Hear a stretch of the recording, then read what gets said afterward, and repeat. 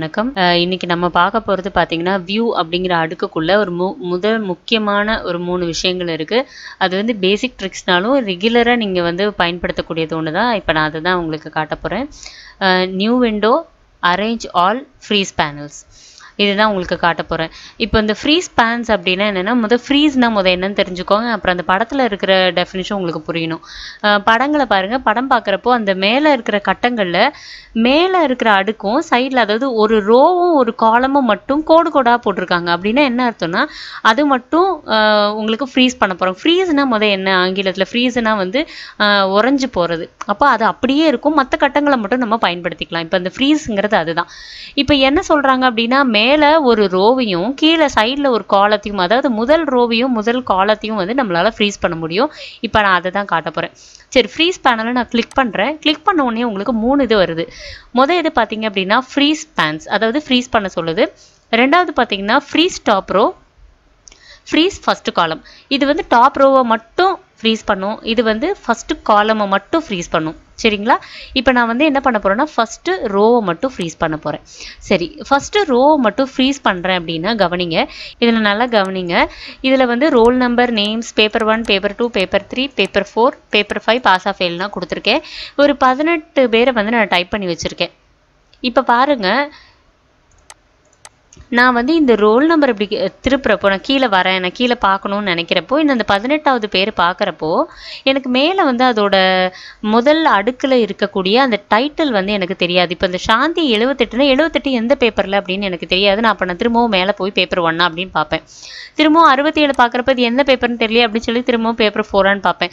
இந்த மாதிரி கஷ்டங்களை தவிர்க்கிறதுக்காக தான் இந்த ஃப்ரீ பென் கொடுக்குறாங்க.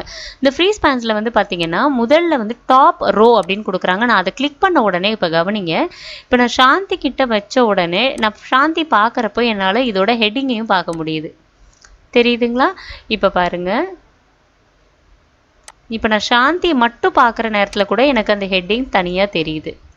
தெரியுதுங்களா? அடுத்து ஃபிஃப்டீன்லேருந்து பார்க்கணுன்னாலே எனக்கு வந்து அது ஆட்டோமேட்டிக்காக எனக்கு இந்த ஃபஸ்ட்டு ரோ மட்டும் அப்படியே ஃப்ரீஸ் ஆகிருக்கும் அது மூவே ஆகாது. நான் என்ன பண்ணாலும் அந்த ஃபஸ்ட் ரோ மூவ் ஆகாது. இப்போ அடுத்து வந்து காலமை ஃப்ரீஸ் பண்ணுறதை நான் சொல்லித்தரேன். ஃப்ரீஸ் ஃபஸ்ட்டு காலம்னு கொடுத்துருக்காங்க. இப்போ அதை பாருங்கள் இந்த இடம் அதாவது இந்த காலம் மட்டும் ஃப்ரீஸ் ஆகும். நான் ஏற்கனவே சொல்லியிருக்கேன். இது வந்து ஒரு ரோ இது வந்து ஒரு காலம்னு இப்போ ரோவையும் நான் ஃப்ரீஸ் பண்ணியிருக்கேன். காலத்தையும் நான் ஃப்ரீஸ் பண்ணியிருக்கேன். இப்போ பாருங்கள் நான் இந்த இதை நான் இப்படி மூவ் பண்ணுறேன் இந்த ரோ அப்படியே இருக்குது பாருங்கள் இப்போ நேம் வந்து எனக்கு தெரியல. தெரியுதுங்களா? நேம் வந்து எனக்கு மறைஞ்சிருது. இப்போ எனக்கு இந்த சைட்லேருந்து நான் போக போக போக பாருங்கள் ஃபஸ்ட்டு ரோ வந்து அப்படியே தான் இருக்குது பேப்பர் ஒன் பேப்பர் டூலாம் எனக்கு சைடில் போக போக போக அது வந்து தன்னைத்தானே அது ஃப்ரீஸ் பண்ணிக்குது. அந்த இடத்த மட்டும் ஃப்ரீஸ் பண்ணிக்கிட்டே இருக்குது. உங்களுக்கு தெரியுதா? இதுதான் வந்து காலமை ஃப்ரீஸ் பண்ணுறது சரி இப்போ இதை நான் வந்து எனக்கு ஃப்ரீஸ் பண்ண வேண்டாம். எனக்கு ரிலீஸ் பண்ணணும் அப்படின்னா அன்ஃப்ரீஸ் பேன்ஸ் அப்படின்னு இருக்குது பார்த்தீங்களா இதை நீங்கள் கிளிக் பண்ணிங்கன்னா எதை எதை நம்ம ஃப்ரீஸ் பண்ணுமோ அது எல்லாமே ரிலீஸ் ஆயிரும். ஸோ ஃப்ரீஸ் பேன்ஸ் உங்களுக்கு புரிஞ்சிருச்சிங்களா? ஏதாவது டவுட்னா கீழே கமெண்ட்டில் போடுங்க. அப்புறம் அரேஞ்ச் ஆல் இந்த அரேஞ்ச் ஆல் அப்படிங்கிற அடுக்கு வந்து பார்த்திங்கன்னா படத்தை பார்த்தாலே உங்களுக்கு அது புரிஞ்சிரும்னு நினைக்கிறேன். ரெண்டு எக்ஸல் ஷீட்டு ஒரே நேரத்தில் எப்படி நம்மளால் வேலை பார்க்க முடியும்? சாதாரணமாக பார்த்தீங்கன்னா ஒரு எக்ஸலை நீங்கள் ஓப்பன் பண்ணுறப்போ இன்னொரு எக்ஸலை நீங்கள் திறக்க முடியாது. அதுக்கு அதுக்கு தான் வந்து அரேஞ்ச் ஆல் நம்ம பயன்படுத்துகிறோம் இப்போ இந்த அரேஞ்ச் ஆலை நம்ம கிளிக் பண்ணுறப்போ கவனிங்களேன். இப்போ நான் உங்களுக்கு நான் இப்போ வந்து கரண்ட்டாக ஒரு எக்ஸல் ஷீட்டில் நான் வேலை பார்த்துட்ருக்கேன் நான் உங்களுக்கு இன்னொரு எக்ஸல் ஷீட் ஓப்பன் பண்ணுறேன் போயிட்டு இதில் எக்ஸாம் அப்படிங்கிறத நான் கிளிக் பண்ணி ஓப்பன் கொடுக்குறேன். ஓப்பன் கொடுத்த உடனே எனக்கு இன்னொரு பேப்பர் ஓப்பன் ஆயிடுச்சு. நான் பழையது பண்ணிகிட்டு இருந்த அந்த எக்ஸல் ஷீட்டு எனக்கு வரல. இங்கே பாருங்கள் எக்ஸாம் அப்படிங்கிற எக்ஸல் ஷீட்டு மட்டும் தான் ஓப்பனில் இருக்குது பழசு வரல அது பார்த்தீங்கன்னா கீழே ரெண்டாக இருக்குது. ஒன்று வந்து நான் இப்போ பயன்படுத்தக்கூடியது இது வந்து நான் இப்போ ஓப்பன் பண்ண எக்ஸாம் ஷீட்டு இப்போ ரெண்டுமே எனக்கு தேவை. சைமன்டேனியஸாக நான் இது ரெண்டுமே பார்த்து தான் நான் வேலை பண்ணணும் அப்படின்னா என்ன பண்ணணும்னா அரேஞ்ச் ஆல் கொடுக்கணும். அரேஞ்ச் ஆல் கொடுக்குறப்ப அது வந்து உங்களுக்கு ஒரு சின்ன டயலாக் பாக்ஸ் கேட்கும். டைட்டில்டா ஹரிசாண்டலா வேர்ட்டிக்கலா கேன்ஸ் கார்டான்னு கேட்கும். இந்த கேஸ் கார்டுனா ஒன்றுமே இல்லை. அது சும்மா சின்னதாக உங்களுக்கு செஞ்சு காட்டும் அவ்வளோதான் டைட்டிலுங்கிறது சைடில் அஜசன் சைடில் உங்களுக்கு வரும். நான் இப்போ உங்களுக்கு காட்டுறேன். இது பார்த்தீங்களா இது நான் பண்ணிகிட்டு இருந்த ஏ ஃபோர் ஷீட்டு இப்போ நான் இது பண்ணிகிட்டு இருந்த எஃபோ ஃபோர் ஷீட் இது தான் இது வந்து நான் இப்போ இப்போ ஓப்பன் பண்ண இந்த எக்ஸாம் ஷீட்டு சரிங்களா? சரி இப்போ வந்து நான் உங்களுக்கு அடுத்ததுக்கு ஹாரிசாண்டல் எப்படி பண்ணணும்னு சொல்லித்தரேன் ஹாரிசாண்டல்னால் மேலே பாதி கீழே பாதியாக உங்களுக்கு பிரியும் அடுத்து வேர்ட்டிக்கல் வேர்ட்டிக்கல் இப்போ ஃபஸ்ட்டு நம்ம டைட்டில்டு பண்ண மாதிரியே தான். ஆனால் என்னென்னா இதில் வந்து உங்களுக்கு அட்ஜசன்ட்டை வந்து நீங்கள் மூவ் பண்ணிக்க முடியும் எங்கேனாலும். அதுதான் இதில் ஒரு ஸ்பெஷல் அடுத்து பார்த்தீங்கன்னா கேஸ்கார்ட் கேஸ்கார்டு ஒன்றுமே இல்லைங்க. எல்லாமே வந்து உங்களுக்கு சின்ன ரகமாக இருக்கும். இங்கே தெரியுதுங்களா? இதை நான் வந்து நான் சின்னது பண்ணிக்க மினிமைஸ் பண்ணிக்க முடியும். அதே மாதிரி இதையும் மினிமைஸ் பண்ணிக்க முடியும். இது ரெண்டுமே இந்த இடத்துல இருக்குது பாருங்கள் கீழே உங்களுக்கு ரெண்டு பேப்பருமே கீழே வந்து நிற்கும். ஸோ எந்த பேப்பர் வேணாலும் நான் சட்டுன்னு ஓப்பன் பண்ணி நான் அதை பண்ணிக்க முடியும். இங்கே தெரியுதுங்களா? நான் ரெண்டு பேப்பருமே கீழே எனக்கு இருக்குது நான் அதை ஓப்பன் பண்ணுறேன் அதே மாதிரி இன்னொரு பேப்பர் உங்களுக்கு ஓப்பன் ஆகும். ஸோ இதுதான். வேறு ஒன்றுமே கிடையாது. இதுதான் வந்து கேஷ் கார்டு அடுத்து பார்த்தீங்கன்னா நியூ விண்டோ இந்த நியூ விண்டோ ரொம்ப முக்கியமானதுங்க. அது எப்படின்னு உங்களுக்கு சொல்லித்தரேன்.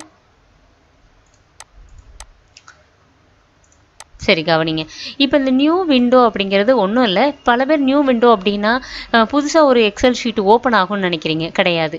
நியூ விண்டோ அப்படின்னா எக்ஸிஸ்டிங்காக நான் என்ன டாக்குமெண்ட் பண்ணிட்டு இருக்கேனோ அதை அப்படியே வந்து அது டூப்ளிகேட் டாக்குமெண்ட் ஒன்று உங்களுக்கு கொடுக்கும். அதே நேமில் அதுதான் இதோட ஸ்பெஷல் இப்போ பாருங்கள் நான் வந்து நியூ டாக்குமெண்ட்னு கொடுத்துட்டேன். ஸோ எனக்கு வந்து ரெண்டு டாக்குமெண்ட் இருக்குது இங்கே பாருங்கள் ரெண்டு டாக்குமெண்ட்டும் ஒரே டாக்குமெண்ட் தான். இதுவும் அதே தான் இதுவும் அதே தான் ரெண்டுமே வந்து டூப்ளிகேட் டாக்குமெண்ட் மாதிரி. அது அப்படியே உங்களுக்கு எக்ஸாக்ட் காப்பியாக uh, உங்களுக்கு வரும். ஸோ இதுதான் வந்து நியூ விண்டோக்குரியது இந்த மூணுமே வந்து உங்களுக்கு இதில் முக்கியமானது. இதில் சைடில் வந்து பார்த்தீங்கன்னா ஸ்ப்ளிட் அப்படின்னு கொடுத்துருக்காங்க.